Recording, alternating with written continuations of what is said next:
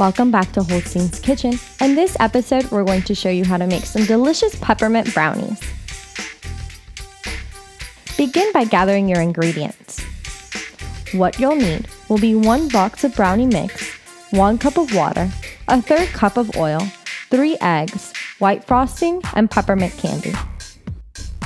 In a large mixing bowl, mix together your ingredients as per the instructions on the back of your brownie mix box.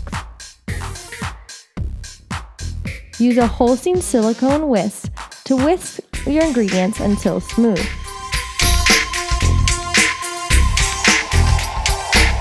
Then take your peppermint candies and crush them and add them to your mixture. Using a spoon, spoon in your brownie mix into your Holstein brownie maker and allow to bake for just 7 minutes.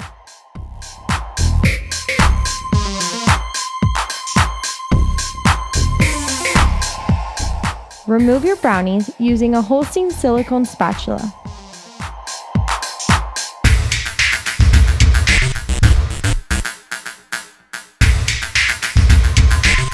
Then you can decorate your brownies using your white frosting and the remainder of your crushed peppermint candies. We hope you enjoyed this episode of Holstein's Kitchen. Check back with us for more recipe tips and ideas.